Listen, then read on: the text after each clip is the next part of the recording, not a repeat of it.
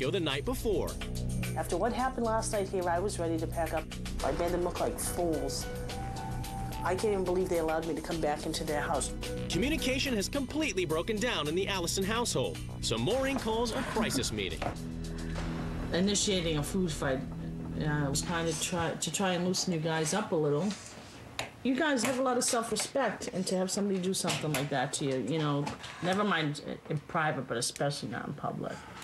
We're loose in a laid back way. Yeah. My family would be loose enough to do something like that in the right setting, but a restaurant is nowhere close to the right setting. Yeah. Like, say I was washing dishes at the sink and I sprayed you with the hose. That would have probably gotten some laughs. Yeah, exactly. I was pretty mad at Maureen there for a while, but we were able to talk things through, and uh, I think everybody feels better about things now. I mean, I felt better today. I feel like I'm learning a lot about etiquette. Definitely. In an effort to make the Hagerty hooligans accountable for their bad behavior, Lydia is imposing her next rule an apology letter. You have to hold my hands.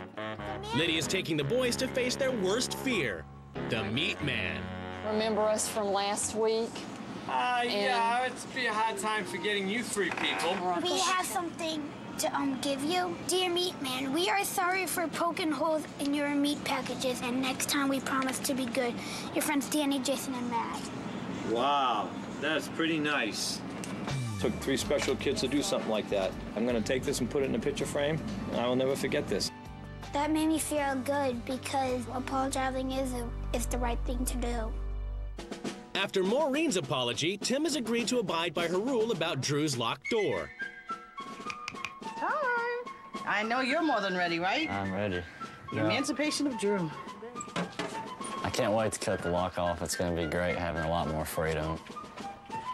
Now, Drew, as hard as this is, this is how hard I want you to try to resist the temptation Yeah. to sneak out. Don't listen to what your father's telling you. Just do it. Here we go.